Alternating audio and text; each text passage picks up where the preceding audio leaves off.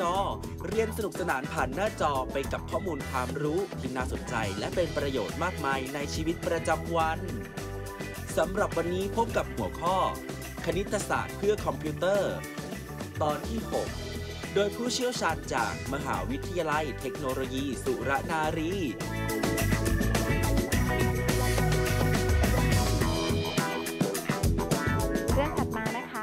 กี่ยวกับการดำเนินการของเซตค่ะ การดำเนินงานของเซตหรือคำว่าเอ่อคำภาษาไทยเนาะการดำเนินการหรือการดำเนินงานก็ได้นะคะ ก็ถ้าเป็นภาษาอังกฤษคือ operation นะคะ จริงๆแล้วมันก็คือคล้ายๆ กับการที่เราเอาตัวเลขมาบวกลบคูณหารกันนั่นเอง ในเรื่องของเซตนะคะ ก็จะมีเรื่องของการบวกในที่นี้ก็คือ union นะคะ การลบก็คือผลต่าง difference นะคะ หรือว่า intersect ก็คือการที่หาสมาชิกที่อยู่ซ้อนทับกันนะคะ แล้วก็ การหา complement ก็คือหาตัวที่ไม่ใช่ตัวมันนั่นเองนะคะ ในที่นี้เดี๋ยวเรามาลงรายละเอียดกันเนาะนะคะ เริ่มที่ตัวแรกนะคะการ union ค่ะ การการดำเนินการเกี่ยวกับเซตอันแรกเนี้ยฮอตฮิตมากนะคะจำเป็นต้องรู้เลยก็คือการ union เนี่ยมันก็คือการที่ถ้าเกิดเราบอกว่าเรามี 2 เซตคือ A กับ B นะคะเอามันมา union กันก็หมายความว่าเราเอาสมาชิกของทั้งเซต A แล้วก็เซต B เนี่ยมารวมกันเลยทั้งหมด นะคะ ถ้าพูดเป็นภาษาวิชาการนิดหนึงนะคะ ก็คือยูเนียนของเซต A และ B ก็คือเซตที่ประกอบด้วยสมาชิกของเซต A หรือเซต B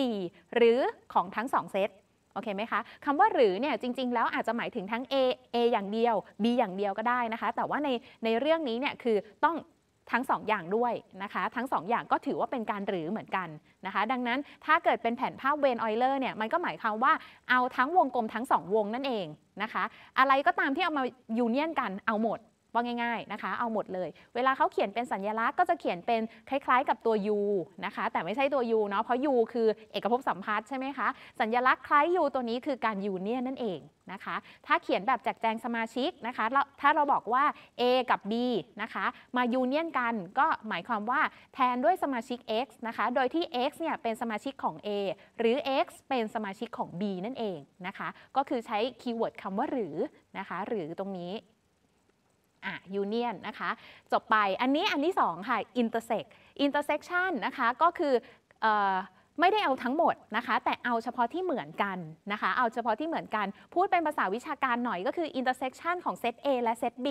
ก็คือเซตที่ประกอบด้วยสมาชิกของเซต A และเซต B นั่นเอง เห็นไหมคะ ขีดเส้นใต้คำว่าและไว้ให้นะคะ สัญลักษณ์ของการ intersect ก็คือการคล้ายๆ กับตัว U คว่ำ นะคะ คล้ายๆกับตัว U คว่ำตัวนี้นะคะ เวลาเขียนอ่าอันนี้จากคำว่าหรือตอนยูเนียนก็จะกลายเป็นและ นะคะเป็นตอนเป็น intersection นั่นเองนะคะ ก็จะคล้ายๆการส่วนรูปก็จะสังเกตเห็นว่าก็จะต่างไปนิดหน่อยนะคะ ตรงนี้ก็คือถ้ามันซ้อนทับกันตรงไหนนะคะ ก็คือแรงเงาตรงนั้น นั่นคือส่วนของข้อมูลที่เป็น intersection กันนั่นเองอันนี้ก็ง่ายๆนะคะ รูปนี้มันไม่ซ้อนทับกันก็ไม่มีส่วนแรงเงานั่นเองนะคะ ผลของการ intersect ก็คือไม่มีเป็นเซตว่างเนาะอันนี้ก็คือมันเป็นสับเซตของกันและกันนะคะ ก็เลยเหมือนกับว่าระบายแค่ตัวเดียวนะคะ จริง ๆ คือมันซ้อนทับกันนั่นเองนะคะ intersect union กับ intersect นะคะ จำง่ายๆ union ก็คือรวมกันหรือเอาทั้งหมดว่าง่ายๆนะคะ intersection ก็คือซ้ำกันเนาะซ้ำกันก็คือเอาที่มันเหมือนกันนะคะจำง่ายๆ แบบนี้อันนี้สรุปให้นะคะ จะระบายสีเป็นสีอะไรก็ตามเนาะบังเอิญนะคะ เมื่อกี้อาจารย์ทำเป็นสีเทา สไลด์นี้ทำเป็นสีเหลืองหนูก็ไม่ต้องตกใจนะคะ มันเป็นเรื่องปกติเนาะอยากจะแรงเงาเป็นสีอะไรก็ตามใจเลย อันนี้คือผลของการ union นนะคะ อันนี้คือผลของการ intersection ค่ะเอ่อ ตัวอย่างนะคะ ตัวอย่างอันนี้ union กับ intersect นะคะ ถ้าสมมุติเรามี A กับมี B นะคะ ต่างคนต่างเซตต่างมีสมาชิกของตัวเอง ถ้าเกิดเราบอกว่า A union B จะได้ผลเป็นอะไร เขียนออกมาแบบแจกแจงสมาชิกอ่าแน่นอน ถ้าบอกว่า union ก็คือเอาหมดใช่ไหมคะ ตัวเลขอะไรก็ตามที่มันอยู่ในวงกลมทั้ง 2 วง รวมถึงส่วนที่ซ้อนทับกันด้วย เอามาเขียนเรียงได้เลย เอาแบบไม่ซ้ำกันนะคะ ถ้าเกิดมันมีตัวเลขอะไรซ้ำกันก็เขียนแค่ครั้งเดียว โอเคไหมคะ ส่วน intersection นะคะ เรียกสั้นๆ intersect ก็คือ A intersect B ใช่ไหมคะ ก็จะเอาเฉพาะที่เหมือน เพราะฉะนั้นส่วนที่เหมือนก็คือส่วนที่ซ้อนทับกันตรงนี้ก็คือเลข 4 นั่นเอง ก็จะได้ออกมาเป็นสมาชิกของเซตที่ intersection กันแล้วเนี่ยได้แค่สมาชิกตัวเดียวคือ 4โอเคไหมคะ อันนี้เป็นตัวอย่างเนาะ อันที่ 3 ค่ะ พอเรา union เป็นแล้วนะคะ intersection เป็นแล้ว อันนี้ complement นะคะ complement ก็คือไม่เอาตัวมันนะคะ ถ้าเกิดเราบอกว่า A complement ก็หมายความว่า เฮ้ย ถ้า A เป็นวงกลมนี้นะ A complement ก็คือไม่เอาวงกลม นะคะ ก็คือเป็นการแรงเงาส่วนที่เป็นเอกภพสัมพัทธ์ทั้งหมดนั่นเองนะคะ ง่ายๆแบบนี้เลยเนาะ complement ของเซต A นะคะ ดูความหมายแบบวิชาการนิดนึงนะคะ ก็คือเซตที่ประกอบด้วยสมาชิกที่เป็นสมาชิกของเอกภพสัมพัทธ์นั่นเอง แต่ไม่เป็นสมาชิกของ A โอเคไหมคะ อันนี้คีย์เวิร์ดเลยนะ ไม่เป็นสมาชิกของ A ถ้าเกิดเราบอกว่า A complement นะคะก็คือไม่เอา A ว่าง่าย ๆ อันนี้คือเขียนแบบแจกแจงสมาชิกนะคะ ก็คือถ้า A เอ โทษทีนะคะ A complement นะคะประกอบด้วยสมาชิก x ซึ่ง x เป็นสมาชิกของ u ก็คือเอกภพสัมพัทธ์ และ x ไม่เป็นสมาชิกของ a โอเคไหมคะ มันก็จะได้เป็น a complement นั่นเองค่ะ ถัดมานะคะโอเปอเรเตอร์หรือว่าตัวตัวดำเนินการหรือการจัดการอีกอันหนึงนะคะ การดำเนินการกับเซตเนี่ยอันสุดท้ายคือผลต่างก็คือ difference นะคะ นิยามก็คือถ้าเกิดเราบอกว่า A กับ B เนี่ยมันจะหาผลต่างกันนะคะ หาผลต่างในที่นี้ก็คือการลบกันนั่นเอง เวลาเขียนแทนก็จะเป็น A ลบ B นะคะ มันก็คือการที่เอา A แต่ไม่เอา B นะคะพูดภาษาบ้านๆ ถ้าเกิดวิชาการหน่อยก็คือเป็นเซตที่ประกอบด้วยสมาชิกที่เป็นสมาชิกของเซต A แต่ ไม่เป็นสมาชิกของเซต B โอเคไหมคะ ก็คือยึดตัวหน้าเนาะถ้าเราบอกว่า A ลบ B หมายความว่าเราเอาแต่ A ไอที่เป็น B เนี่ยไม่เอาโอเคไหมคะ ยึดตัวหน้าไว้ก่อนในที่นี้ก็คือ ถ้าเขียนแบบแจกแจงสมาชิกนะคะ ก็คือเป็นเซตนะเซตที่ได้จากการหาผลต่างนะคะ คือการดำเนินการทุกอย่างเนี่ยมันจะได้เป็นเซตใหม่เนาะอันนี้ก็คือเซตใหม่ที่เกิดจาก A ลบ B นะคะ ประกอบด้วยสมาชิก x โดยที่ x เป็นสมาชิกของ A และ x ไม่เป็นสมาชิกของเซต B นั่นเอง นะคะ อันนี้เป็นตัวอย่างแผนภาพเวนออยเลอร์นะคะ ถ้าเกิดเราหาผลต่างแล้วบอกว่า a ลบ b อ่าถ้า a กับ b มันมีส่วนซ้อนทับกันแบบนี้ ก็จะได้เฉพาะส่วนที่แรงเงาคือเอาเอาแค่ a ตรงกลางไม่เอา เพราะว่ามันมี b มาปนโอเคไหมคะ อันนี้ก็ชัดเจนไม่มีส่วนซ้อนทับ อันนี้มีส่วนซ้อนทับนะคะ ถ้าตรงไหนเป็น b ก็ไม่ต้องระบาย ระบายแค่ส่วนที่เป็น a เท่านั้นนะ อันนี้ก็ตามนี้นะคะ สุดท้ายนะคะ อันนี้สรุปให้ละกันเนาะระหว่าง complement กับผลต่างนะคะ complement คือเอาข้างนอกนะคะ ก็คือไม่เอาตัวมันอะนะคะ A complement ก็คือไม่เอา A B complement ก็คือไม่เอา B นะง่าย ๆ แบบนี้เลยนะคะ ส่วนผลต่างคือยึดตัวตั้งและก็ลบตัวที่เหมือนกันออกนะคะ อันนี้ก็จะกลายเป็นการดำเนินการของเซตเป็นเรื่องของการหาผลต่างค่ะ อันนี้คือผลลัพธ์ที่ได้จากการ complement อันนี้คือผลลัพธ์ที่ได้จากการหาผลต่างนะคะ อันนี้ก็มีแบบฝึกหัดให้ทำเล็ก ๆ น้อยๆนะคะ ถ้าเกิดใครตามไม่ทันนะคะ นอกจากแบบฝึกหัดตัวนี้แล้วยังมีแบบฝึกหัดตัวอื่น ที่อาจารย์มีไว้ให้อยู่ในคลออยู่ในคอร์สออนไลน์นะคะ เพราะฉะนั้นอันนี้ดูเป็นตัวอย่างแล้วกันเนาะ ถ้าเกิดเราบอกว่าเรามี A กับมี B อยู่นะคะสองภาพนี้เป็นเป็นเซตเหมือนกันนะคะ ก็คือ A มีสมาชิกเดียวกัน B ก็มีสมาชิกเดียวกัน มันคือตัวเดียวกันนั่นแหละนะคะ แต่แสดงภาพให้เห็นเฉยๆว่า A complement ได้ส่วนที่เป็น สีเหลืองนะคะ แล้วก็ B complement เนี่ยได้ 1 2 3 8 นะคะ 1 2 3 8 อันนี้ไม่ได้แรงเงาให้ดูนะคะ เพราะว่าอาจจะพื้นที่จำกัดนิดนึงเนาะนะคะอย่าว่ากันเลยเรูปนี้เป็นรูปที่ได้จาก A complement ถ้า B complement ก็คือไม่เอา B นะคะไม่เอา B เอาเฉพาะส่วนที่อยู่นอก B ทั้งหมด รวมถึงเอกภพสัมพัทธ์ด้วย มันก็เลยได้ 8 นะคะ ได้ 8 ติดมา ส่วนอันนี้เป็นแผนภาพที่ได้จาก A ลบ B นะคะ A มี 1 2 3 4 ใช่ไหมคะ B มี 4 5 6 7 แล้วแต่ใครถนัดเลย ถ้าเกิดใครใส่เป็นรูปภาพแบบนี้แล้วเข้าใจกว่า ก็ใช้รูปภาพให้เป็นประโยชน์นะคะ เป็นเวนออยเลอร์ได้เลย แต่ว่าถ้าเกิดใครไม่ถนัดวาดภาพนะคะ แจกแจงเป็นสมาชิกในเซตแบบนี้ แล้วก็ค่อยดูเอาก็ได้ว่ามันเหมือนหรือมันต่างกันตรงไหนนะคะ ในที่นี้ A กับ B เนี่ย มันมีส่วนที่ คาบเกี่ยวหรือว่าเเขาเรียกว่าอะไรมีมีร่วมกันอยู่นะคะ ก็คือสมาชิกก็คือ 4 นั่นเองถูกไหมคะแต่การที่เราบอกว่า A ลบ B นะคะ หมายความว่าเราไม่เอา B เพราะฉะนั้นส่วนที่เหมือนกันก็คือไม่เอานะคะ ดังนั้น A ลบ B ก็เลยได้ 1 2 3 นะคะ ไม่ได้ 4 มาด้วย เพราะว่ามันไปร่วมกับ B ถูกไหมคะ แต่ B ลบ A นะคะ อันนี้ก็จะคล้ายๆกัน ได้ 5 6 7 ไม่เอา 4 เหมือนกัน นะคะ อันนี้ก็เป็นตัวอย่างนะคะ ใครถนัดแบบเวนออยเลอร์ ใครถนัดแบบแจกแจงสมาชิกจัดการได้เลยนะคะ เอาที่ตัวเองถนัดและสบายใจนะคะ ก็นอกจากเรื่องของการดำเนินการเกี่ยวกับเซตนะคะ เราควรจะต้องรู้อีกนิดนึงเรื่องของพีชคณิตของเซตนะคะ เป็นอัลจีบ้านั่นเอง ในที่นี้นะคะก็เอ่อเป็นสมบัติ เอกลักษณ์นะคะไม่มีอะไรข้อ1เนี่ยก็จะคล้ายๆกับเรื่องจำนวนเนาะก็คือถ้า A union กับ A ยังไงก็ได้ A ก็คือได้ตัวมันนั่นเอง หรือ A intersect กับ A ยังไงก็ได้ตัวมันอยู่ดีนะคะ อันนี้ก็เป็นสมบัติเอกลักษณ์นะคะ ส่วนอันนี้ A union B นะคะ Union A Union B เท่ากับ B Union A อันนี้ก็คือการสลับที่นั่นเองจะเป็น Union หรือ Intersect ก็แล้วแต่นะคะ ส่วนอันนี้เป็นการเปลี่ยนกลุ่มนะคะ เปลี่ยนกลุ่ม อันนี้ก็จะเป็น A Union กับ ในวงเล็บ B กับ C เราก็เปลี่ยนวงเล็บมาไว้ด้านหน้าได้อ่าอันนี้ก็คือเป็นการเปลี่ยนกลุ่มนะคะ ทั้ง Union แล้วก็บรรทัดล่างเป็น Intersect นะคะ ส่วนอันนี้นะคะ 4 อันนี้ก็คือเป็นสมบัติการแจกแจงนะคะ ก็คือมีการคูณเข้าในวงเล็บว่าง่ายๆนะคะ อันนี้เป็น Union นะคะ ด้านในวงเล็บเป็น Intersect ใช่ไหมคะ เวลาคูณกระจายกันออกมา ก็จะกลายเป็นวงเล็บย่อย 2 อัน union กัน แล้วก็ตรงกลางเป็น intersection อย่างนี้เป็นต้นนะคะ ตรงนี้ก็คือถ้าเกิดกลับเครื่องหมายตรงนี้ก็จะได้กลับกันเหมือนกันนะคะ อันนี้ก็จะกลายเป็นเรื่องของพีชคณิตพีชคณิตของเซตนั่นเองนะคะ หวังว่าทุกคนมันคงจะไม่ยากเกินไปนะคะ เรื่องของออการดำเนินการต่างๆ ไม่ได้ยากเลย ใช้ร่วมกับเรื่องเวนอยเลอร์ได้เลยนะคะ ก็ให้ฝึกมือทำเยอะๆนะคะ จะได้เก่งๆ เดี๋ยวเรามาเจอกันหัวข้อหน้านะคะ เป็นเรื่องเกี่ยวกับการหาจำนวนสมาชิกของเซตค่ะ มาถึงเรื่องถัดมานะคะ เราจะ ไปอีกเรื่องหนึ่งละเป็นเรื่องของการหาจำนวนสมาชิกของเซตค่ะ ซึ่งแน่นอนว่าถ้าเกิดเรารู้ว่าเซตต่างๆ มีสมาชิกยังไงนะคะ เรื่องอีกเรื่องหนึ่งก็คือ เราจะรู้ได้ยังไงว่าถ้าเกิดมันทำงานซ้ำซ้อนกันเยอะๆนะคะ มีการดำเนินการเกี่ยวกับเซตไม่ว่าจะเป็น union intersect หลายๆ ชั้นถึงเวลาแล้วเหลือจำนวนสมาชิกเท่าไหร่นะคะ อันนี้เราก็จะมาพูดถึงเรื่องเกี่ยวกับจำนวนสมาชิกของเซตค่ะ ว่ามีวิธีการหายังไงบ้างนะคะ เวลาเราจะหาจำนวนสมาชิกของเซตนะคะ มันจะเขียนแทนด้วย n วงเล็บ แล้วก็ตามด้วยชื่อของเซตนะคะ ซึ่ง n ตัวนี้แหละก็คือจำนวนสมาชิกของเซต A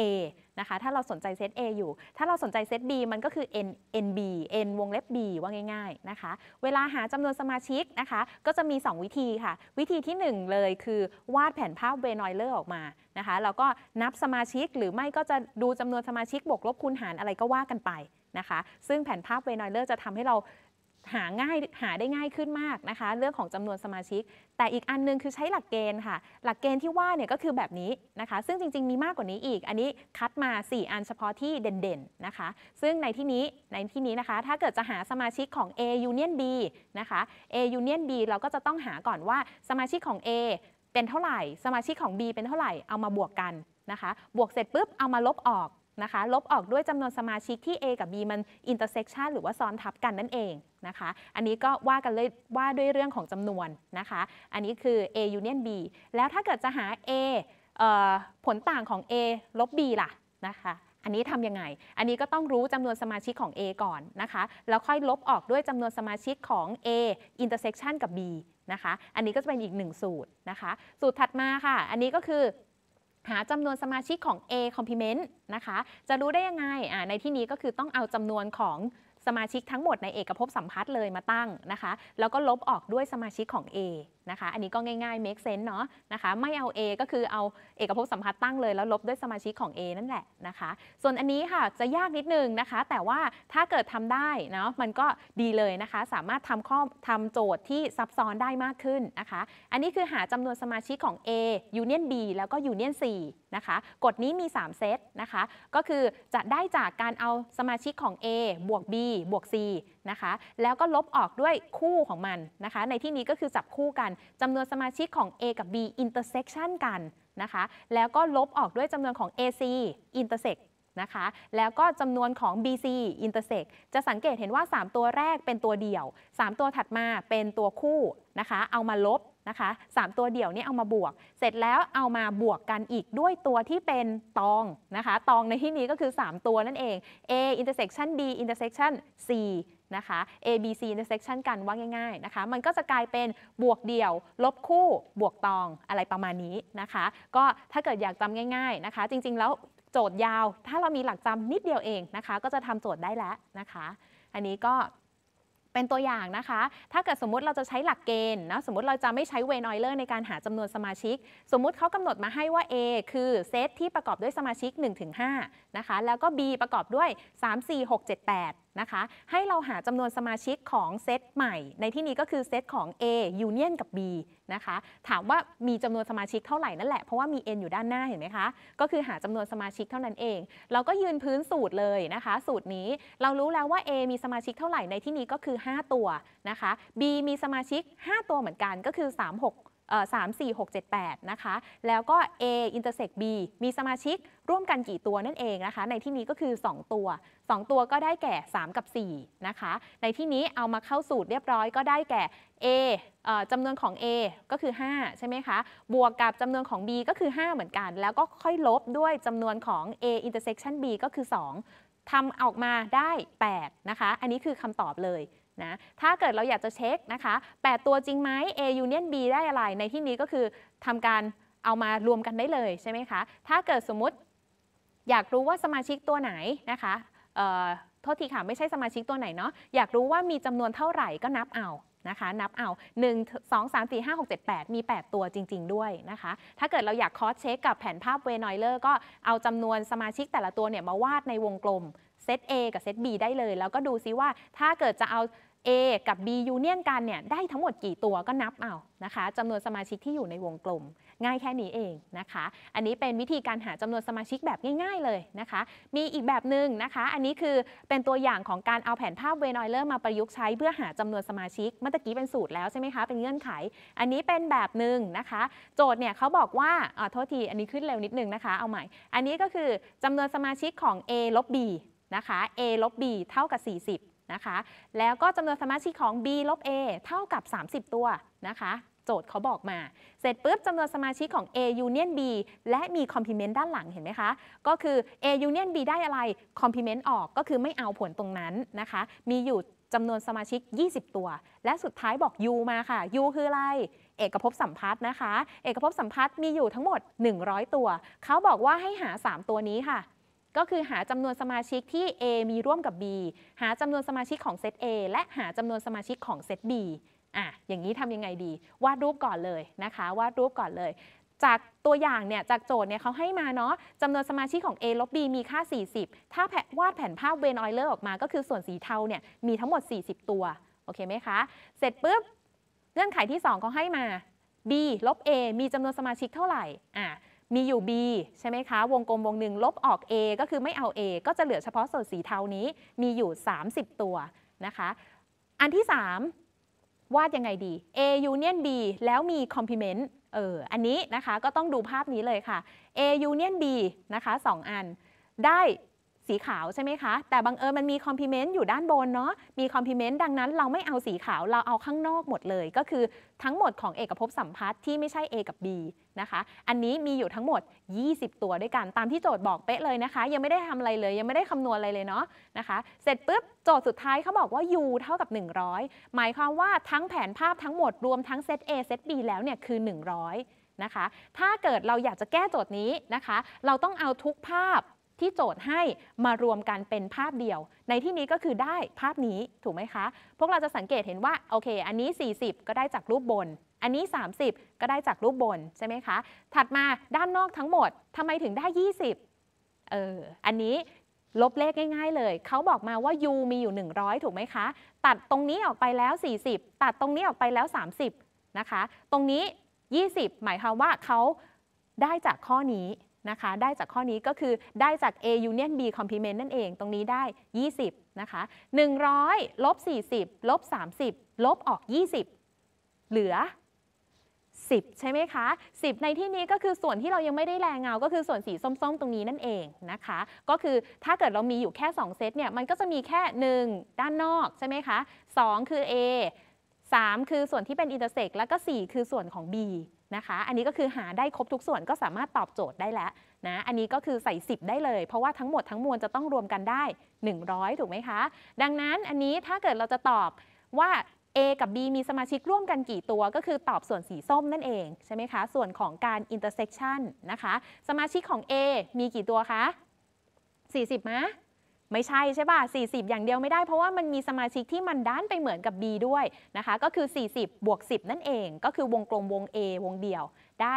50 ใช่ไหมคะ แล้วก็สมาชิกของ B ก็ทำนองเดียวกันนะคะ ตอบ 40เรียบร้อยนะคะ อันนี้คือตัวอย่างการหาจำนวนสมาชิกของเซต โดยดูทั้งแบบสูตร แล้วก็ดูทั้งแบบแผนภาพเวนอยเลอร์นะคะ เพื่อเป็นประโยชน์ในการหาจำนวนสมาชิกเซตต่อไปนะคะ เดี๋ยวต่อไปนะคะ เราจะไปหา หัวข้อใหม่ละนะคะ หัวข้อนี้จะเป็นเรื่องเกี่ยวกับคู่อันดับค่ะ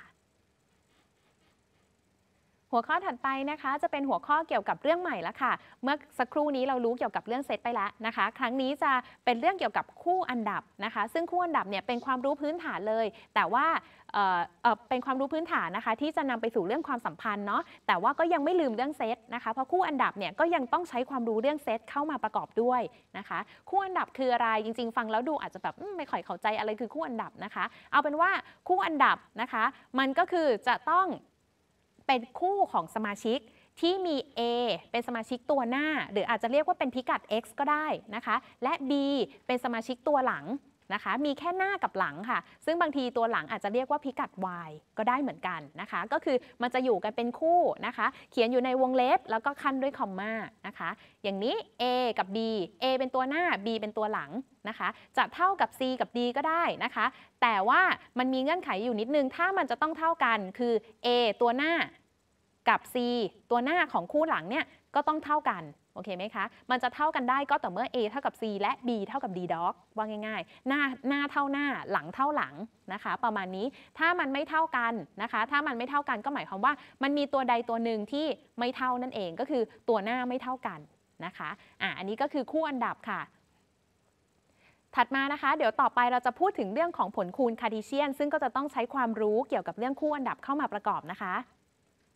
กลับมาสู่เรื่องนี้นะคะ เป็นเรื่องของผลคูณคาร์ทีเซียนค่ะ ซึ่งจะต้องใช้ความรู้เกี่ยวกับเรื่องคู่อันดับเข้ามาประกอบด้วยนะคะ ผลคูณคาร์ทีเซียนคืออะไรอ่าดูเลยนะคะ นิยามของมัน ผลคูณคาร์ทีเซียนเนี่ยก็คือเซตของคู่อันดับนะคะทั้งหมดเลยที่ตัวหน้ามาจากเซต A แล้วก็ตัวหลังมาจากเซต B โอเคไหมคะ อันนี้คือหน้ามาจาก A หลังมาจาก B เวลาเขียนก็จะเขียนเป็น A คูณ B แบบนี้ค่ะ ใช้เครื่องหมายคูณแบบนี้แหละ มันคือผลคูณคาร์ทีเซียนนะคะ พวกเราไม่ต้องไป fix กับ A หรือ B นะคะ A กับ B เป็นเซตใด ๆ ซึ่งมันอาจจะเปลี่ยนชื่อไปเป็นอย่างอื่นก็ได้นะคะจำไว้แค่ว่า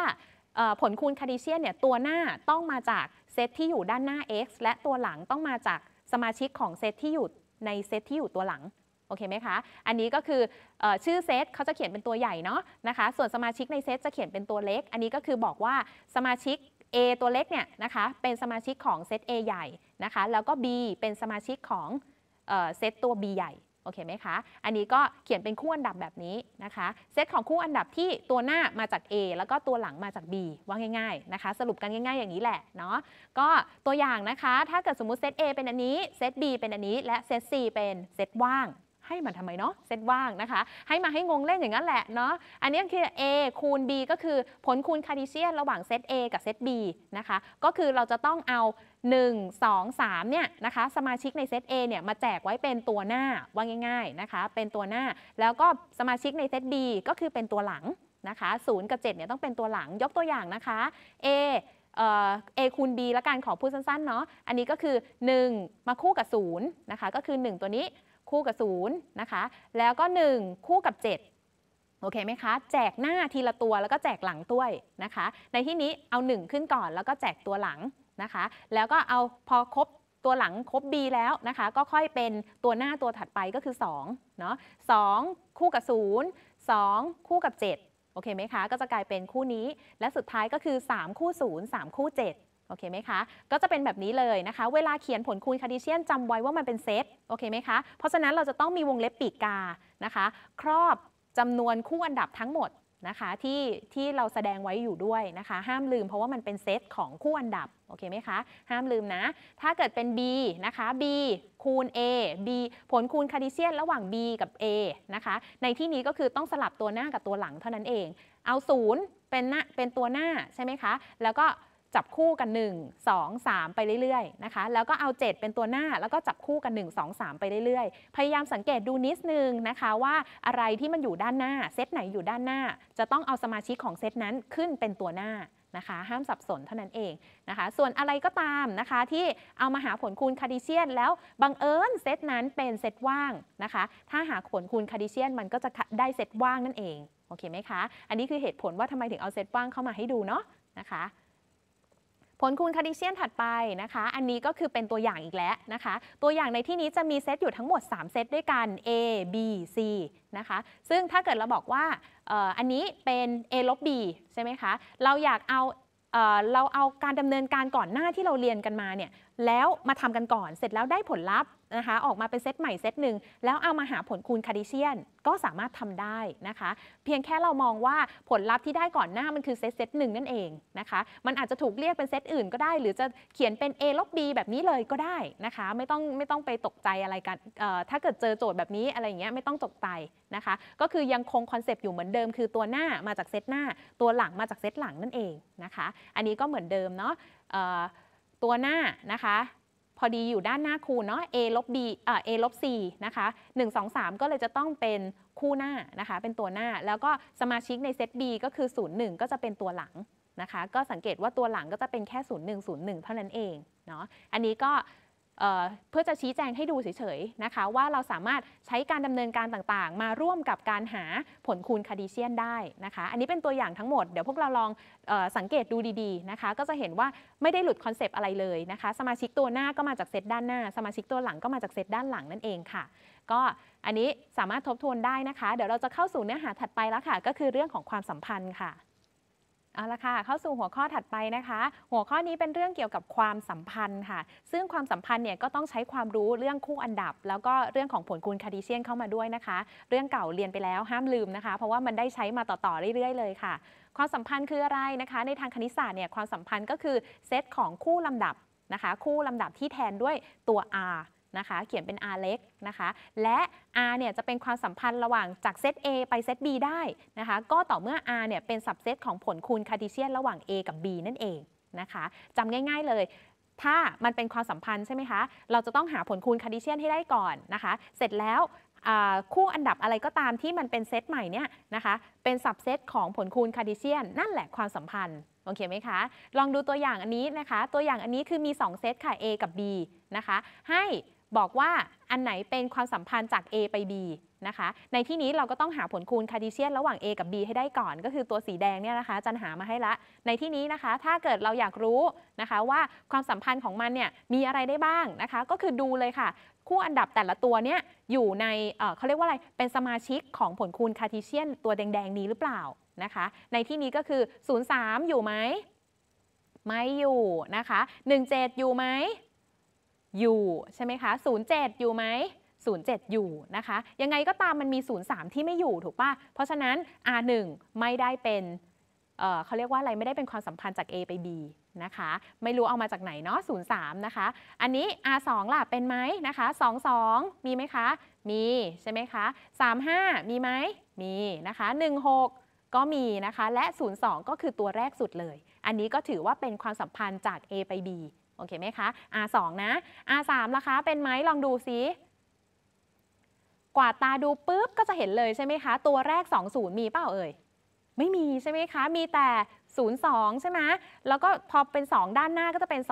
25 26 เลย เพราะฉะนั้นตัวที่เป็นสมาชิกระหว่าง A ไป B จริง ๆ ก็คือ R2 นั่นเอง โอเคไหมคะ ง่ายๆแบบนี้เลย ถ้าเกิดถามหาความสัมพันธ์ หาผลคูณคาร์ดิเชียนให้ได้ก่อนนะคะ อันนี้เป็นอีกหนึ่งตัวอย่างที่ยากขึ้นนะคะ เขาไม่ได้บอกมาแบบแจกแจงสมาชิกเนาะเขาบอกว่าให้เป็นเขาเรียกอะไรไม่ได้เป็นความแจกแจงสมาชิกแต่เป็นแบบแจกแจงเงื่อนไขนะคะ มี R1 R2 R3 เขียนแบบแจกแจงเงื่อนไขมาเลย เขาบอกว่าให้ A เนี่ยเป็นเซตที่ประกอบด้วยสมาชิกตั้งแต่ 1 ถึง 10 นะคะ เลข 1 ถึงเลข 10 ให้หา R แบบแจกแจงสมาชิกนะคะ ในที่นี้นะคะ ถ้าเกิดสมมุติเราจะหา R แบบแจกแจงสมาชิก เราก็ต้องอ่านเงื่อนไขให้เป็นก่อน ดู R1 นะคะ R1 เป็นเอ่อความสัมพันธ์ที่ประกอบด้วยสมาชิก x y นะคะ เป็นคู่อันดับ x y ซึ่งเเป็นสมาชิกของเซต A ทั้ง 2 เลย ทั้ง x และ y โอเคไหมคะ ก็คือ x มาจาก A แล้วก็ y ก็มาจาก A เหมือนกัน ถ้าเขียนแบบนี้ไม่ต้องงงนะคะ ก็คือเป็นสมาชิกของผลคูณคาร์ดิเชียนระหว่าง A คูณ A นั่นเองนะคะ ก็โดยที่เห็นไหมคะ ตัวขีดตรงนี้อย่าลืมนะ โดยที่ความรู้เรื่องเซตนะคะ x บวก y น้อยกว่าหรือเท่ากับ 4เออ อันนี้ก็คือเป็นเงื่อนไขเล็กๆนะคะว่า 2 ตัวนี้บวกกันต้องได้ตั้งแต่ 4 ลงมานะนะคะก็คือ 4 3 2 1 ไปเรื่อยๆนะคะในที่นี้ถ้าเกิดเราจะแจกแจงสมาชิกใช่ไหมเรารู้อยู่แล้วว่า A มีได้ตั้งแต่1ถึง10 เราก็เอามาก่อนเลยค่ะ เอา 1 วางเลยแล้วก็คิดเลยค่ะ 1 บวกอะไรได้น้อยกว่าหรือเท่ากับ 4นะคะในที่นี้ก็ได้ 1 ใช่ไหมคะ จับคู่ทีละตัว 1 กับ 1 1 กับ 2 ใช่ไหมคะ บวกกันก็ยังได้ 3 1 กับ 3 บวกกันก็ยังได้ 4 ใช่ไหมคะ 1 กับ 4 ไม่ได้แล้วเพราะบวกกันได้ 5 ถูกไหมคะ ดังนั้นถ้า 1 เป็นตัวหน้านะคะ ตัวหลังจะสุดแค่ 3 โอเคไหมคะ ส่วนอันนี้ก็เริ่มต้น 2 ได้เลยใช่ไหมคะ 2 เป็นตัวหน้าก็บวกอะไรได้บ้างแล้วยังน้อยกว่า 4 อยู่ใช่ไหมคะ มันก็จะสุดแค่ 2 2 นะคะ และสุดท้ายก็จะสุดที่ 3 1 3 2 ไม่ได้แล้วเพราะบวกกันได้5ใช่ไหมคะ ไม่เข้าเงื่อนไขนี้โอเคไหมเพราะฉะนั้นอันนี้ก็คือแจกแจงสมาชิกออกมานะคะ ว่าความสัมพันธ์นี้มีสมาชิกอะไรได้บ้างก็คือมีคู่อันดับอยู่แค่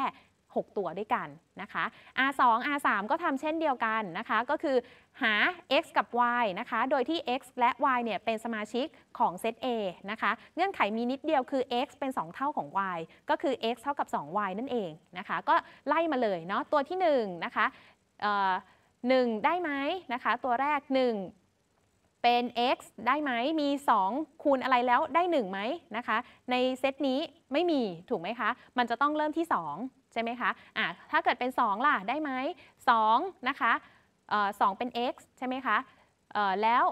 y จะเป็นเท่าไหร่เออ2คูณอะไรได้ 2 ในที่นี้ก็คือ 2 คูณ 1 ใช่ไหมคะ ได้ 2 เพราะฉะนั้นตรงนี้ก็เลยออกมาได้ 2 1 นะคะ ถัดมาก็คือ 3 ไม่มี 4 ไม่มีนะคะ มาเจอ 6 เลยใช่ไหมคะ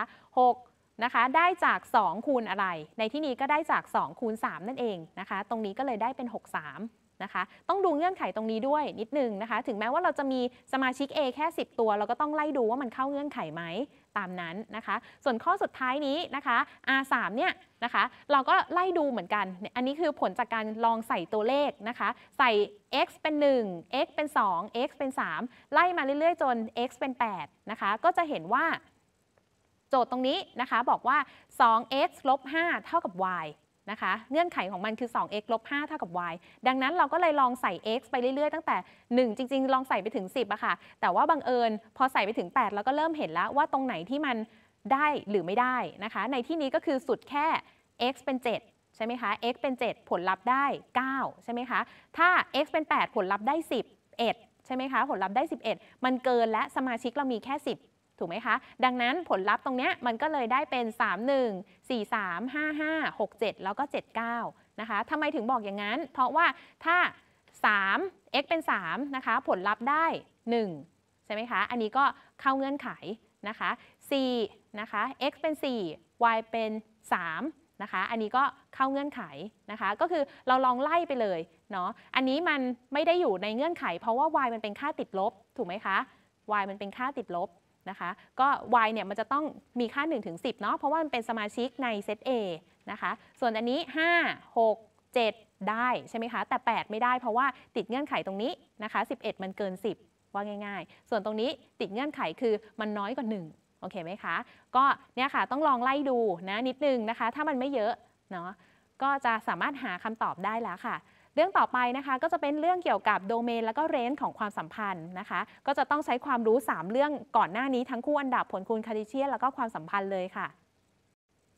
กลับมาสู่เรื่องใหม่นะคะ เรื่องนี้เป็นเรื่องเกี่ยวกับโดเมนและเรนจ์ของความสัมพันธ์ค่ะ ซึ่งโดเมนและเรนจ์ของความสัมพันธ์เนี่ยเป็นเรื่องที่ค่อนข้างยากนะคะ เพราะว่าต้องมีเรื่องของการคำนวณ แล้วก็ใช้ความรู้เรื่องเก่าๆมาด้วย ถ้าเกิดใครไม่ไม่ค่อยชำนาญเกี่ยวกับเรื่องการแก้สมการนะคะ อันนี้ต้องไปทบทวนอย่างยิ่งเลยนะคะ ยิ่งสมการตัวไหนที่เป็นเลขยกกำลังเนี่ยไปหาเรื่องทบทวนเรื่องเกี่ยวกับสมการพหุนามาก่อนนะคะ จะได้เชี่ยวชาญในการแก้สมการนิดหนึงนะคะ ก่อนอื่นเรามารู้ก่อนว่าโดเมนและเรนหรือว่าพิสัยของความสัมพันธ์เนี่ยคืออะไรนะคะ โดเมนของความสัมพันธ์ก็คือเซตของสมาชิกตัวหน้าของคู่ลำดับนั่นเองนะคะ ถ้าเกิดเราบอกว่าโอเคโดเมนเราอยากเขียนเป็นสมาชิกแจกแจงแจกแจงเงื่อนไขนะคะ เขียนเป็นแบบแจกแจงเงื่อนไขของเซตนะคะโดเมนก็คือสมาชิกตัว x นั่นเองนะคะ ประกอบด้วยสมาชิก x โดยที่ x เนี่ยเป็นตัวหน้าของคู่ลำดับ x y นะคะ ซึ่ง 2 ตัวนี้นะคะ เป็นสมาชิกของจำนวนจริงนั่นเองนะคะ ส่วนเรนก็กลับกันค่ะเรนหรือพิสัยเนี่ยก็คือสมาชิกตัวหลังโอเคไหมคะ เวลาเขียนก็คือแทนที่ตรงนี้จะเป็น x ก็เป็น y นั่นเองนะคะ ส่วนตัวนี้เขียนเหมือนกัน นะคะโดเมนและเลนก็มีความหมายประมาณนี้ค่ะ ถ้าเกิดสมมุติเราบอกว่ามีความสัมพันธ์อยู่นะคะ R1 R2 R3 โดเมนคืออะไรหนูก็คัดมาแค่ตัวหน้านะคะ ส่วนเรนคืออะไรก็คัดมาแค่ตัวหลังนะคะ แล้วก็เอามาเขียนรวมกันเป็นเซตอยู่ในวงเล็บปีกกาเท่านั้นเองนะคะ อันนี้เป็นตัวอย่างนะคะ ก็ถ้าเกิดจะดูกันลึกๆเอาเอาตัวอย่างไหนก็ได้นะคะ ก็จะเห็นว่า โดเมนก็คือแค่เฉพาะตัวหน้าคัดมาแบบที่ไม่ซ้ำกันนะคะ ส่วนเรนก็เหมือนกันนะคะ ก็ดูแค่ตัวหลัง 1 2 3นะคะ จบตรงนี้นะคะ อันนี้เป็นตัวอย่างง่ายๆนะคะ เวลาที่เราจะหาโดเมนกับเรนเนี่ยมันก็จะมีความยากง่ายแตกต่างกันนะคะ ก่อนอื่นเลยเนี่ยมันอาจจะมาในรูปแบบของการเขียนแจกแจงเงื่อนไขแบบนี้นะคะ ซึ่งมันก็จะซับซ้อนนิดหนึ่งเวลาที่เราหาความสัมพันธ์นะคะหาคู่อันดับที่เกี่ยวข้องเนี่ยเราก็ต้องดู เงื่อนไขด้านหลังตรงนี้นะคะว่าถ้า x เป็นเท่านี้แล้ว y จะเป็นเท่าไหร่ x เท่านี้ y เป็นเท่าไหร่นะคะ ส่วนของ x เนี่ยจะมาอยู่ในเซตของโดเมน แล้วก็ส่วนของ y จะมาอยู่ในส่วนของ range นะคะ แน่นอนว่ามันอาจจะบอกจำนวนสมาชิกไม่ได้นะคะ ถ้าเกิดบอกไม่ได้เนี่ยก็คือเป็นจุดๆแบบนี้นะคะ ก็คือต้องละไว้ในฐานที่เข้าใจ สังเกตนิดนึงค่ะ คู่อันดับ x y ตัวนี้เขาเขียนว่ามันเป็นสมาชิกของจำนวน นับเอ่อเท่าทีไม่ใช่จำนวนนับใช่ไหมคะเป็นจำนวนเต็มนะคะ เพราะฉะนั้นตรงนี้ก็คือจะเป็นได้ทั้งจำนวนบวกจำนวนลบ แล้วก็จำนวนศูนย์ใช่ไหมคะเป็นได้หมดเลยนะดังนั้นอันนี้ก็คืออสมาชิกของตัว x เนี่ยจะเป็นสมาชิกในเซตจำนวนจำนวนจำนวนเต็มโทษทีนะคะจำนวนเต็มตรงนี้ก็จะกลายเป็น x คูณ x นะคะ มันก็จะไม่ทิ้งกันเนาะ ตรงนี้เป็น x คูณ i คูณ i ใช่ไหมคะ อันนี้ก็จะคือ i เหมือนกันนะ ดังนั้นผลลัพธ์ที่ได้เนี่ย ไม่ว่าจะยังไงก็ตาม มันจะต้องอยู่ในสมาชิกที่มัน define ไว้ตั้งแต่บน ตั้งแต่ด้านบนตรงนี้นะคะอะก็สรุปนิดนึงนะคะ อันนี้ก็คือถ้าความสัมพันธ์อยู่ในรูปของ y เท่ากับ ax บวก b นะคะ และ a นะคะ เป็นสมาชิกของจำนวนนับนะคะ แล้วไม่ใช่จำนวนนับตัวทีจำนวนเต็มนะคะ ก็จะได้ว่าโดเมนกับเรนเนี่ยก็จะเป็นจำนวนเต็มเช่นเดียวกัน ในขณะเดียวกันถ้ามันเป็นสมาชิกของจำนวนเต็มนะคะ ผลลัพธ์ที่ได้ทั้งโดเมนและเรนก็จะเป็นจำนวนเต็มจำนวนจริงโทษทีนะคะ อันนี้เป็นจำนวนจริงเนาะตัว r ถัดมานะคะ ถ้าโดเมนและเลนถ้าความสัมพันธ์นะคะ อยู่ในรูปของเครื่องหมายรูทแบบนี้นะคะ จริง ๆ มันมีสูตรสำเร็จเลย ว่าจะหาโดเมนได้จากสูตรไหน หาเรนได้จากสูตรไหนนะคะ แต่ว่าก่อนที่จะไปถึงตรงนั้นเนี่ยมันมีหลักการนิดนึงนะคะ ให้รู้หลักการก่อนเนาะถึงก่อนที่จะไปจำเป็นสูตรเป็นอะไรนะคะโดเมนถ้ามันความสัมพันธ์มันเขียนอยู่ในลักษณะนี้นะคะโดเมนเนี่ยจะหมายถึงจำนวนที่อยู่ในรูทโอเคไหมคะก็คือ ax บวก b นั่นเองนะคะ อันนี้คือโดเมนซึ่ง อตัวที่อยู่ในรูทเนี่ยมันจะต้องอมีค่ามากกว่าหรือเท่ากับศูนย์นะคะก็จะไม่มีค่าน้อยกว่าศูนย์ไม่มีค่าติดลบว่าง่าย ๆนะคะ พอเรารู้อย่างนี้แล้วเนี่ยก็คือเราจับมันมาเป็นอสมการนะคะ ว่ามากกว่าหรือเท่ากับศูนย์เสร็จแล้วก็แก้อสมการหรือว่าแก้สมการเท่านั้นเองนะคะ ก็จะได้เป็นค่า x หรือว่าค่าโดเมน ส่วนค่าเรนนะคะ ค่าเรนก็คือค่าของ y ก็คือค่าที่ได้จากการรูทอีกทีหนึ่งก็คือทั้งก้อนเลยนะคะ ไม่ได้อยู่ใต้รูทนะในที่นี้ก็คือจะต้องมีค่ามากกว่าหรือเท่ากับศูนย์เสมอนะคะ ก็คือใส่เครื่องหมายมากกว่าเท่ากับก็จะได้ผลเลยนะคะ อันนี้เป็นตัวอย่างนะคะ ถ้าเราบอกว่ามีความสัมพันธ์แบบนี้อยู่นะคะ y เท่ากับรูท x บวก3นะคะ อยากหาโดเมน อยากหาเรนเมื่อกี้บอกแล้ว เอาเรนก่อนง่าย ๆนะคะ เรนก็คือตัว y ใช่ไหมคะ ตัว y ในที่นี้ก็คือทั้งก้อนเลยรวมรูทด้วย มันจะต้องมีค่ามากกว่าหรือเท่ากับ 0 เพราะฉะนั้นเรนคือ y มากกว่าเท่ากับ 0 ได้เลย แต่ถ้าโดเมนนะคะโดเมนตัวนี้จะต้องมีการแก้สมการนิดนึงนะคะเพื่อย้ายค่า x ให้ได้นะให้ x อยู่ด้านซ้ายแล้วก็ตัวตัวเลขอื่น ๆ อยู่อีกด้านหนึ่งนะคะในที่นี้ก็คือเอาเฉพาะสมการที่อยู่ใต้รูทเนี่ยมาแก้ นะคะ ในที่นี้ x บวก3ก็คือสมการที่อยู่ใต้รูทใช่ไหมคะ ต้องมีค่ามากกว่าหรือเท่ากับ 0 อันนี้เป็นเป็นข้อตกลงกันนะคะ ว่าค่าที่อยู่ในรูทต้องมากกว่าหรือเท่ากับ0นะคะ ในที่นี้ยกย้ายสมการ จะว่าไปเนี่ยการยกย้ายสมการไม่มีอยู่ในคณิตศาสตร์ใช่ไหมคะ ถ้าเกิดเราคือเราพูดกันให้ง่ายเฉยๆว่าเออโอเค ย้าย 3 ที่เป็นบวกมาเป็นลบนะคะ แต่ในความเป็นจริงแล้วมันคือเอาลบ3มา ทำกันทั้งสองฝั่งของสมการนั่นเองนะคะ แต่ว่าที่บอกว่าย้ายข้างย้ายข้างเนี่ยเพื่อให้มันเข้าใจง่ายเฉยๆนะคะ อันนี้ตกลงกันก่อนเนาะอะอันนี้ x บวก3ใช่ไหมคะ เราอยากให้ x เหลืออยู่ตัวเดียวเราก็เอาลบ3มาคูณทั้งสองฝั่งอ่าโทษทีเอาลบ3มาทำกับทั้งสองฝั่งนะคะ หรือพูดง่ายๆว่าย้ายบวก 3 ตัวนี้มาเป็นลบ3นั่นเองนะคะ ก็จะได้ว่า x มากกว่าหรือเท่ากับลบ3นะคะ อันนี้ก็จะตอบได้เลยโดเมนคือเท่านี้เรนคือ เรนคือจะต้องมากกว่าหรือเท่ากับ0นะคะโดเมนคือจะต้องมากกว่าหรือเท่ากับลบ3นั่นเองนะอันนี้ก็เป็นคำตอบนะคะ หรือถ้าเกิดดูซับซ้อนขึ้นมานิดนึงนะคะ เราก็ยังคงใช้หลักการเดิมได้อยู่นะคะเรนก็คือทั้งก้อนถูกไหมคะ ก็ต้อง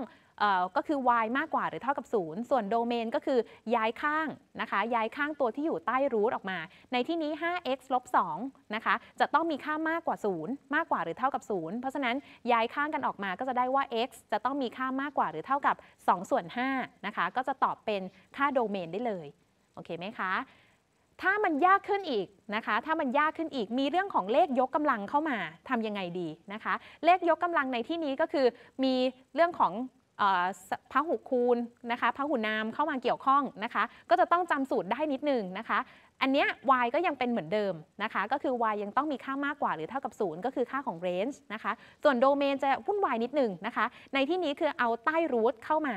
เอาใต้รูทเข้ามา เสร็จปุ๊บ 2 ยกกำลัง a เอ่อ x ยกกำลัง2นะคะลบ4ใช่ไหมคะ ในที่นี้ตรงเนี้ยเนี่ยต้องมีการแยกตัวประกอบออกมานะคะ พอแยกตัวประกอบออกมาเสร็จปุ๊บนะคะ ถ้าเกิดใครยังจำได้ตอนเรียนตอนประมาณมปลายนี่แหละนะคะ จะต้องมีการแก้สมการใช่ไหมคะ แยกตัวประกอบเสร็จปุ๊บแล้วเอามาเขียนเป็นช่วงนะคะ เอามาเขียนเป็นช่วง ถ้าแบบนี้เนี่ยตัวประกอบของมันก็คือจะต้องมีทั้งลบ2นะคะ แล้วก็2นะคะ มาอยู่บนเส้นจำนวน นะคะ เสร็จแล้วเนี่ยมันจะต้องมีการหาใช่ไหมถ้าใครจำได้ใช่ไหมคะ ลองทบทวนดูว่าตรงเนี้ยช่วงนี้เป็นช่วงที่ 1 ใช่ไหมคะ คือ x มีค่าน้อยกว่าหรือเท่ากับลบ2นี่คือช่วงที่ 1 นะคะ แล้วก็อันนี้คือ x มีค่าตั้งแต่ลบ2ถึง2นี่คือช่วงที่ 2 และนนี้คือช่วงที่ 3 ใช่ไหมคะ ก็คือตั้งแต่ 2 ขึ้นไปนะคะ มันก็จะมีการหาใช่ไหมลองเอาค่าในแต่ละช่วงเนี่ยไปแทนนะคะในสมการแล้วดูว่าให้ค่าบวกหรือค่าลบออกมาเวลาคูณกันแล้วนะคะ อันนี้ ทบทวนนะคะ ทบทวนนะ ทวนให้แบบเร็วๆ ก็คือ พอลองเอาค่าในช่วงนี้เนี่ยไปแทนแล้วนะคะ ไปแทนในแต่ละวงเล็บแล้วแล้วเอามาคูณกัน ปรากฏว่าผลลัพธ์เนี่ยจะมีค่าเป็นช่วงบวกนะคะ แล้วก็ถ้าเอาค่าในช่วงนี้ก็คือลบ2ถึง2นะคะ x มีค่าลบ2ถึง2ลองเอาค่าไปแทนในทั้ง 2 ก้อนแล้วคูณกันนะคะ ก็จะได้ค่าเป็นลบนะคะ ส่วนอันนี้นะคะ2 เป็นต้นไปใช่ไหมคะมากกว่าหรือเท่ากับ 2 ลองเอาไปแทนก็จะได้ค่าเป็นบวก เพราะฉะนั้นอันนี้นะคะโจทย์ต้องการมากกว่าหรือเท่ากับ0นะคะดังนั้นเราก็เลือกเฉพาะค่าบวกเข้ามาตอบเนาะอันนี้ก็เลยได้เป็นคำตอบของสมการนะคะก็ว่าก็จะได้ว่าโดเมนนะคะของความสัมพันธ์นี้นะคะก็จะคือเท่ากับ x เอ่อจะต้องมีค่า x น้อยกว่า เท่ากับเท่ากับลบ2นะคะหรือ x มากกว่า 2 มากกว่าหรือเท่ากับ 2 นั่นเองโอเคไหมคะเนื่องจากว่าตรงนี้มันเป็นพหุนามใช่ไหมคะเป็นสมการพหุนามต้องแก้อีกแบบหนึ่งนะคะ ต้องทบทวนความรู้นิดนึง อันนี้ก็จะเป็นลักษณะเดียวกันนะคะ ก็จะมีการโยกย้ายข้างนิดนึง แต่ว่าโจทย์ข้อนี้นะคะมีการติดลบเกิดขึ้นนะคะ พอมีการติดลบเกิดขึ้นเนี่ยพอเอาค่าลบ1มาคูณเข้าเนี่ยมันจะมีการกลับเครื่องหมายตรงนี้นะคะ พอกลับเครื่องหมายปุ๊บ ก็จะเราก็จะอยากได้ค่าที่ติดลบ เพราะว่าตรงนี้มันเป็นค่าน้อยกว่าหรือเท่ากับนะคะ เพราะฉะนั้นพอทดลองค่าในช่วงต่างๆ เข้าไปใส่ในสมการแล้วเนี่ยเราก็จะสนใจค่าที่เป็นลบนะคะ ก็คือช่วงนี้นั่นเองลบ5ถึง5เพราะฉะนั้นตรงนี้ก็จะตอบเป็นค่าโดเมนนะคะแล้วก็ประมาณนี้นะคะประมาณนี้วิธีการก็คือถ้าเราไม่ค่อยแม่นนะคะ ไม่ค่อยแม่นว่าเอ้ยเวลาย้ายข้างสมการอะไรยังไงนะคะ ตรงนี้ก็จะเป็นการหาความสัมพันธ์ โดเมนกับเรนจ์ของความสัมพันธ์นะคะ โดยการดูจากรูปแบบของความสัมพันธ์ได้เลย ถ้ามันติดรูทแล้วด้านในมีเป็นลักษณะนี้ ax บวก b โดเมนจะเท่ากับนี้ เรนจ์จะเท่ากับแบบนี้เลยนะคะ เราสรุปได้เลยเนาะ แต่ถ้าความสัมพันธ์มันอยู่ในรูปนี้นะคะ ด้านในรูทมีการยกกำลังนะคะ ตรงนี้ก็จะเป็นอีกรูปแบบหนึ่งนะคะของโดเมนกับเรนจ์นะคะ จะได้เป็น 2 ช่วงนะคะ คืออันอันนึงแล้วก็หรือแล้วก็อีกอันหนึงนะคะ เป็นช่วงแยกกันออกไป นะคะ อีกอันนึงค่ะ อันนี้เป็นความสัมพันธ์ในรูปของ a ลบ x ยกกำลังสองนะคะ อันนี้ก็จะได้อีกรูปแบบหนึ่งคือโดเมนเป็นช่วงช่วงอีกช่วงหนึ่งนะคะ ช่วงที่ไม่ได้เป็นการหรือกันนะคะ เป็นช่วงติดติดๆกัน แล้วก็เรนก็จะเป็นช่วงแบบนี้นะคะ คืออยู่ในช่วง 0 ถึงรูท a นะคะ ซึ่ง a ก็คือตัวนี้นั่นเองเนาะก็ตัวอย่างอันนี้นะคะก็คือข้อนี้นี่แหละนะคะ ที่ชี้ให้ดูนะคะ ข้อนี้ ก็ลองทบทวนดูนะคะ ยังมีแบบฝึกหัดอีกเยอะเลยนะคะ ให้เราลองเล่นดูเพื่อที่จะหาโดเมนกับเรนจ์นะคะ ความสัมพันธ์นะคะ ถ้าเกิดมันมีอยู่ในรูปแบบนี้อีกล่ะนะคะ ไม่ได้มีรูทมีอะไรโดเมนกับเรนจ์จะหาได้ยังไงนะคะ ในที่นี้โดเมนก็คือเออเราจะมี concept นะคะ มีแนวคิดว่าเศษส่วนทุกจำนวนเนี่ยส่วนจะต้องไม่เท่ากับศูนย์นะคะ แล้วก็เอามันมาแก้เป็นสม แก้อักสมการได้เลยนะคะ ส่วนเรนจ์ก็คือค่าของ y นะคะ โดยที่ y จะต้องไม่มีค่าเป็นศูนย์เช่นกันนะคะ อันนี้ก็จะเป็นลักษณะเดียวกันนะคะ ขึ้นอยู่กับว่าความสัมพันธ์มันเป็นแบบไหน ถ้าความสัมพันธ์เป็นแบบนี้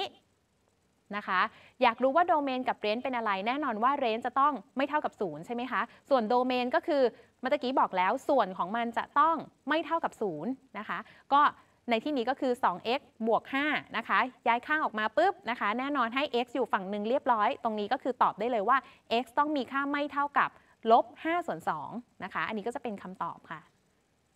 หรือถ้าเกิดมันเป็นรูปแบบอีกรูปแบบหนึ่งนะคะ อันนี้ยุ่งยากกว่านิดนึงก็คือมี x อยู่ด้านบนและด้านล่างด้วยนะคะ อันนี้ก็ต้องแก้สมการอีกรูปแบบหนึ่งเพื่อย้าย x มาอยู่อีกฝั่งหนึ่งให้ได้นะคะ ไอตัวนี้นะคะ ตัวนี้ x ในที่เนี้ยนะคะ ก็คือสัมประสิทธิ์นะคะสัมประสิทธิ์หรือ x ในที่นี้ก็คือโดเมนแหละเนาะนะคะ ก็คือสัมประสิทธิ์ที่อยู่หน้าตัวแปรนั่นเองนะคะ ในที่นี้ก็คือลบ6ด้านบนส่วน1นะคะมันก็คือลบ6นั่นแหละนะคะตอบเป็นโดเมน ส่วนเรนในที่นี้ก็คือเอาเฉพาะตัวนี้เข้ามาคิดนะคะเอาเฉพาะส่วนเพราะส่วนก็คือต้องไม่เท่ากับ0ใช่ไหมคะ มันก็แก้สมการออกมาได้ y ไม่เท่ากับ3นะอันนี้ตอบเป็นเรนได้เลยนะคะ แล้วก็สุดท้ายอออันนี้ ยังไม่สุดท้ายเนาะชี้ให้ดูเฉยๆนะคะว่าส่วนการหาโดเมนกับเรนจ์ของความสัมพันธ์ที่มีลักษณะของแบบเนี้ยนะคะมี x อยู่ด้านบนแล้วก็มี x อยู่ด้านล่างนะคะ ถ้าเราลองจับจุดให้ดีนะคะ ลองจับจุดให้ดี ตัวนี้นะคะโดเมนนะคะโดเมนก็คือส่วนด้านล่างนะคะ แล้วก็เรนนะคะส่วนด้านล่างเหมือนกันเนาะอันนี้นะคะ1ลบ1ส่วน4นะคะ ส่วนเรนก็คือสัมประสิทธิ์นะคะ เรนก็คือสัมประสิทธิ์ของค่า x ของค่าอีกตัวหนึ่งนั่นเอง อันนี้คือค่าเรนจ์นะคะ ก็คืออันนี้เรนจ์ y ใช่ไหมคะ ก็คือ 5 ส่วน4นะคะ ส่วนอันนี้เรนจ์ก็คือลบ3นะคะสรุปความสัมพันธ์ให้นะคะ ความสัมพันธ์แบบนี้นะคะ ความสัมพันธ์ในรูปของ y เท่ากับ a ส่วนด้วย bx บวก c อะอันนี้ก็สรุปได้เลยนะคะ ว่าจะได้โดเมนเป็นแบบนี้ เรนจ์เป็นแบบนี้นะคะ ส่วนความสัมพันธ์ในรูปของ y นะคะ ก็จะได้เป็น ถ้าเป็นแบบนี้นะคะ ax หารด้วย bx บวก c นะคะ โดเมนก็ได้เป็นสูตรนี้ แล้วก็เรนก็ได้เป็นสูตรนี้นะคะ แต่ถ้ามันอยู่ในเอ่อโทษทีค่ะ มันก็จะเป็นลักษณะแบบนี้เนาะนะคะ เนื่องจากว่ามันมีอยู่ 2 รูปแบบนะคะ การหาโดเมนและเรนของความสัมพันธ์นะคะ สรุปให้ก็คือ เวลาที่เราจะหาโดเมนเนี่ย เราจะพิจารณา x นะคะว่า x ตัวไหนบ้างถึงจะได้ y นะคะ ส่วนการหาเรนเราจะพิจารณา y นะคะว่าแทน y เป็นเท่าไหร่บ้าง แล้วถึงจะได้ x นะคะเป็นการจัดรูป x เท่ากับ fy นั่นเองนะคะจำไว้ง่าย ๆ เลย ถ้าเกิดสมมุติเราเจอ fx ฟังก์ชันของ x นะคะก็คือหาตัว y นั่นแหละนะคะมันคือตัวเดียวกันเนาะอันนี้ก็เป็น เทคนิคนิดหน่อยนะคะของการหาโดเมนและเรนจ์ของความสัมพันธ์นะคะ ก็อาจจะยุ่งยากนิดนึงนะคะ เพราะว่ามันมีเรื่องของการแก้สมการเข้ามาด้วย เดี๋ยวเรื่องหน้าก็จะสบายขึ้นแล้วนะคะสำหรับเรื่องของความสัมพันธ์เนี่ยเรื่องการหาโดเมนและเรนจ์จะยุ่งยากนิดหนึ่งนะคะ เรื่องของ inverse ความสัมพันธ์เรื่องถัดไปจะไม่ค่อยยากแล้วค่ะ ก็ถ้าเกิดเข้าใจเรื่องของโดเมนและเรนจ์ก็จะไปต่อได้แล้ว เอาละค่ะมาสู่หัวข้ออีกหัวข้อหนึ่งแล้วนะคะ เรื่องโดเมนและเรนอาจจะซับซ้อนไปนิดนึงนะคะ แต่ว่าหมั่นทำความเข้าใจนะคะ เรามีสูตรสำเร็จให้เนาะพยายามจำหรือไม่ก็หาเทคนิคในการทำนะคะ ก็จะไปได้ดีทำได้ดีนะคะ มาสู่หัวข้อนี้ค่ะเป็นเรื่องของ inverse ความสัมพันธ์นะคะ ในที่นี้ก็จะต้องใช้ความรู้เพิ่มนิดนึงในเรื่องของความสัมพันธ์นะคะ ก็ นิยามก่อนนะคะ inverse ของความสัมพันธ์ R นะคะ ก็คือความสัมพันธ์ที่เกิดจากการสลับที่ระหว่างสมาชิกตัวหน้า แล้วก็สมาชิกตัวหลังนะคะของความสัมพันธ์ R นั่นเอง เวลาเขียนก็จะเขียนแทนด้วย R ยกกำลังลบ1นะคะ แบบนี้นะคะ ยกตัวอย่างง่ายๆ ถ้า R บอกว่า 1 3 2 5 แล้วก็0ลบ1นะคะ มันก็คือการสลับที่ 1 3 เป็น 3 1 2 5 เป็น 5 2นะคะ0ลบ1เป็นลบ1 0 แค่นั้นเองนะคะ อันนี้คือตัวอย่างแบบง่ายเนาะ ลองดูตัวอย่างแบบ ยากขึ้นมานิดนึงแล้วกันอะอันนี้คือมีตัวแปรนะคะ มีตัวแปรเข้ามายากไหมจริงๆ ก็ไม่ยากเท่าไหร่เนาะ05 4x 1y ลบ2 4นะคะ อันนี้ให้หา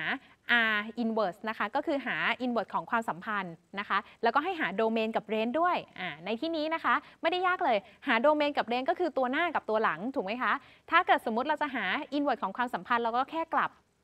ตัวหน้าตัวหลังตัวหน้าตัวหลังกลับกันนะคะ พอกลับเสร็จปุ๊บเอาตัวหน้ามาตอบเป็นโดเมนแล้วก็เอาตัวหลังมาตอบเป็นเรนนะคะ เขียนเป็นเซตใหม่นะคะ ให้มีวงเล็บปีกกาด้านในเท่านั้นเอง ในที่นี้อันนี้ก็ควรจะต้องเรียงนิดนึงเพื่อจะให้ดูดูง่ายๆนะคะ ก็คือ 45 x y อันนี้ก็ลบ2นะคะ014ก็เรียงจากน้อยไปมากนั่นเองนะคะ สังเกตนิดนึงค่ะ ตรงนี้ r นะคะ r ยกกำลังลบ1ใช่ไหมคะ ก็คือเป็น inverse มันก็คือ range ของ r เฉยๆ นั่นเองนะคะ ก็สลับกันเฉยๆ ไม่มีอะไรเนาะ ทีนี้ถ้าเกิดเขาให้มาแบบแจกแจงเงื่อนไข อันนี้เราก็จะปวดหัวอีกใช่ไหมคะ เพราะว่าเมื่อกี้เราก็ปวดหัวกับโดเมนกับ range มาแล้วเนาะนะคะ อันนี้นะคะก็คือความสัมพันธ์ให้มาบอกว่าเป็นคู่อันดับ x y นะคะ โดยที่ y เนี่ยมีค่าเท่ากับ 2x บวก 7 นะคะ ให้หา inverse ของความสัมพันธ์นะคะ เราก็ใช้วิธีนี้เลยนะคะ เริ่มต้นคือ x กับ y เนี่ย เราสลับค่า yx ก่อนนะคะ จากชายเป็นหญิงหญิงเป็นชายก่อนนะคะ สลับกันก่อนนะคะ เสร็จปุ๊บในในที่นี้นะคะ ตรงนี้ยังเขียนเหมือนเดิมนะคะ วิธีคิดถัดมาก็คือเอาตัวเนี้ยค่ะ y เท่ากับ 2x บวก 7 เนี่ยมาแก้สมการนะคะ แก้เพื่อให้ x อยู่อีกด้านหนึ่งและ y อยู่อีกด้านหนึ่งสลับด้านกัน นะคะ ในที่นี้นะคะพอเราแก้ได้เสร็จปุ๊บนะคะ เราเอาไปแทนค่านะคะ พอแทนค่าเสร็จปุ๊บเรามีการกลับค่ะ กลับ x กับ y อีกทีหนึ่งนะคะ ก็จะได้เป็นอินเวอร์ของความสัมพันธ์เลยนะคะ เพราะว่าอันนี้พอเราหามาปุ๊บเนี่ยบังเอิญตอนแรกตรงนี้เป็น x ก็จริงใช่ไหมคะแต่ว่าเดิมมันเป็น y มาก่อนถูกไหมคะมันเป็นตัวปลอมนะคะ ดังนั้นตรงนี้ก็เลยจะต้องมีการกลับคืนนะคะ ถึงจะได้เป็นคำตอบนั่นเองนะคะ ก็ง่าย ๆ แบบนี้เลยค่ะ อันนี้ก็จะเป็นตัวอย่างอีกตัวอย่างหนึ่งนะคะ มีรูท เข้ามานะคะ วิธีการก็จะเหมือนกันเลยนะคะ ก็คือเริ่มต้นได้ x กับ y มาก็เป็น yx ใช่ไหมคะ กลับด้านกับ x y y x ตรงนี้นะคะ แล้วตรงนี้ก็คือเอามาแก้สมการนะคะ พอแก้สมการเสร็จปุ๊บได้ x อยู่ด้านหนึ่ง y อยู่ด้านหนึ่งแล้วเรียบร้อยนะคะ ก็เอามาใส่คืนนะคะ เอามาใส่คืนตรงนี้จะมีเงื่อนไขเล็กน้อยนะคะ ก็คือ y จะต้องมากกว่าหรือเท่ากับ0นะคะ เพื่อ ตรงนี้ก็จะได้เป็นเงื่อนไขที่สมบูรณ์นะคะ พอเอามาสู่ตรงนี้เสร็จปุ๊บก็สลับ x y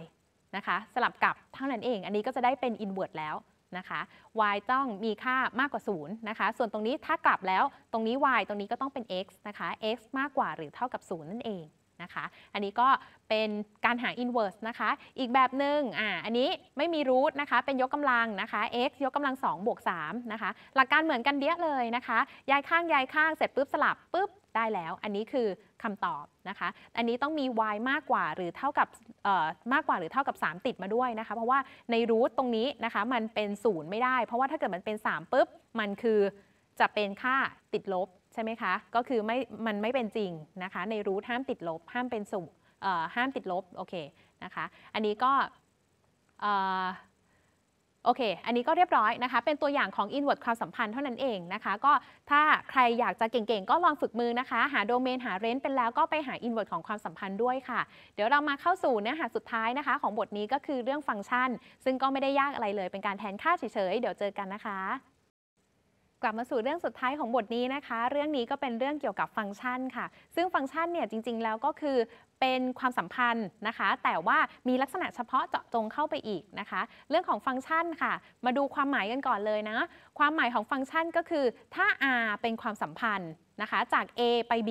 นะคะ แล้ว r เนี่ยจะเป็นฟังก์ชันได้นะคะ ก็ต่อเมื่อสมาชิกใน a เนี่ยถูกใช้หมดทุกตัว นะคะ แล้วสมาชิกตัวหน้าของ r เนี่ยต้องไม่ซ้ำกันนะคะ ถ้าสมาชิกตัวหน้าซ้ำกัน ตัวหลังต้องเหมือนกันนะคะ มีกฎเกณฑ์อยู่แค่ประมาณนี้เองนะคะ ลองดูตัวอย่างนะคะ A อยู่1มีสมาชิกอยู่ดังนี้ 3 ตัวนะคะ ก็คือ 1 2 0นะคะ ส่วนเซต B ก็มีสมาชิก 3 ตัวเหมือนกันก็คือ 4 5 6 นะคะ ความสัมพันธ์นะคะจะเป็นฟังก์ชันได้นะคะ R เป็นความสัมพันธ์จาก A ไป B แล้ว R จะเป็นฟังก์ชันได้นะคะ ก็ต่อเมื่อสมาชิกใน A เห็นไหมคะ1 2 0 ถูกใช้หมดทุกตัวเลยนะคะ ถูกใช้หมดทุกตัว แล้วสมาชิกตัวหน้าของ R นะคะ ก็คือก็คือโดเมนนั่นแหละนะคะ ไม่ซ้ำกันนะคะ ถูกใช้ทุกตัวและไม่ซ้ำกัน ถ้ามีการซ้ำกันเกิดขึ้นตัวหลังต้องซ้ำด้วยนะคะ นั่นก็หมายความว่าหมายถึงคู่อันดับตัวเดิมนั่นเอง โอเคไหมคะ อันอย่างเนี้ยถือว่าเป็นฟังก์ชันนะคะ ลองดูอีกตัวอย่างนะคะ อันนี้เป็น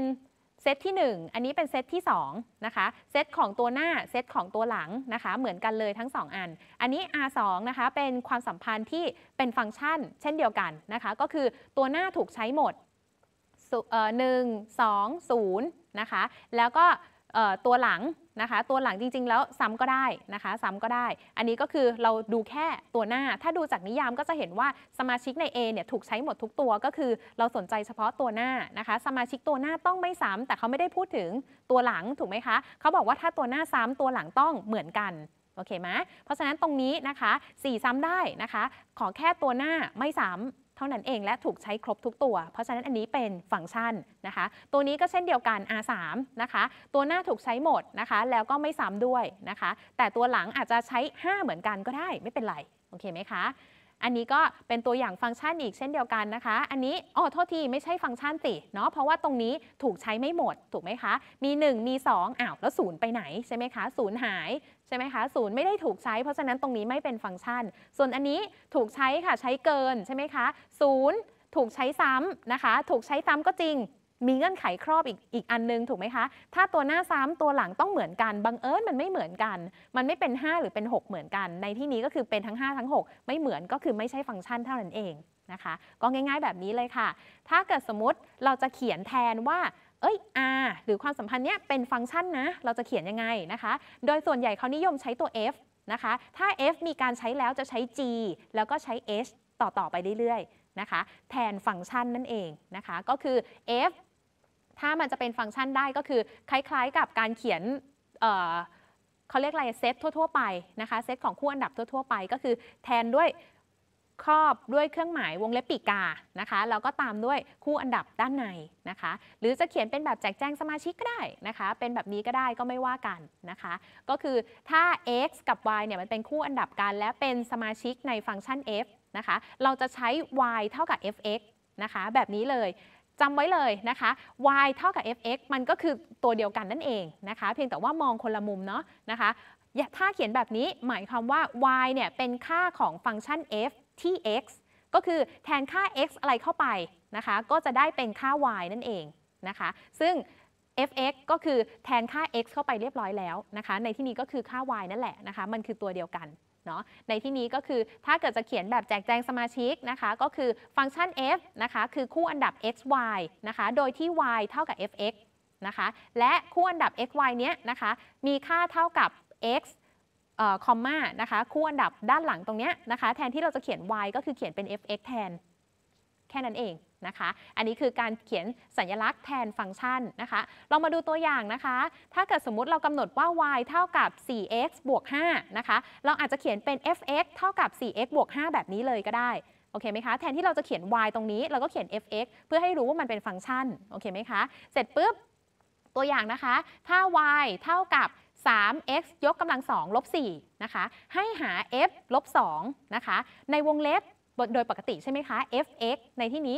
x ถูกเขียนอยู่ในวงเล็บนะคะ ลบ 2 ในที่นี้ก็คือ x นั่นเองนะคะ ถ้าเขียนแบบนี้ไม่ต้องตกใจเลย เราเอาค่าที่อยู่ในวงเล็บที่อยู่ใน x เนี่ยนะคะไปแทนได้เลย โอเคไหมคะ เราบอกว่าเรามีสมการนี้อยู่นะ y เท่ากับ 3x ลบ 4 นะคะ ไอ้ตรงนี้แหละคือ fx โอเคไหมคะ fx ก็คือสูตรนะคะ เอาลบ 2 เข้าไปแทน แล้วได้ y เป็นอะไร แค่นั้นเอง นะคะ อย่างอันนี้ f ลบ2นะคะ ก็คือเอาลบ2เข้าไปแทนในสูตรนี้นะคะ ในสมการนี้นะ ก็คือในฟังก์ชันนั่นแหละนะคะ ได้เป็นลบ2ยกกำลัง2ได้ 2 2 เป็น 4 ใช่ไหมคะ 3 4 12 12 ลบ 4 ได้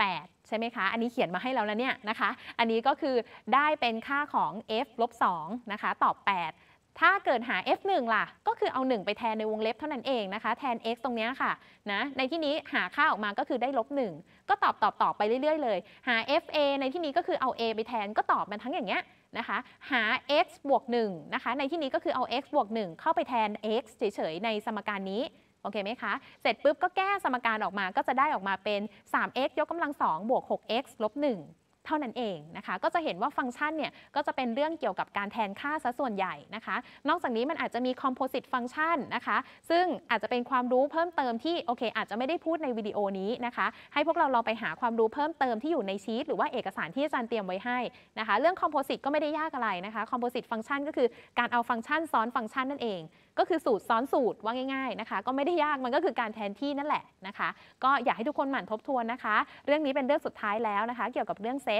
เพราะฉะนั้นก็อ๋อไม่ใช่เรื่องเซตอย่างเดียวเซตความสัมพันธ์แล้วก็ฟังก์ชันนะคะหมั่นทบทวนเยอะๆ จะได้เก่งๆนะคะ เดี๋ยวเราไปเจอกันที่บทหน้านะคะ ก็ถ้าเกิดใครอยากทบทวนก็ขอเชิญทบทวนได้ตามอัธยาศัยเลยค่ะ ยังมีข้อมูลอีกมากมายที่น่าสนใจ โดยผู้ชมสามารถเข้าไปศึกษาค้นคว้าเพิ่มเติมได้ที่เว็บไซต์ thaimuc.org หรือติดตามความรู้เนื้อหาสาระอื่นๆ อีกมากมาย ได้ในรายการ ห้องเรียนหน้าจอ ทางช่อง 4 ALTV ทีวีเรียนสนุก พื้นที่การเรียนรู้สำหรับทุกคนครับ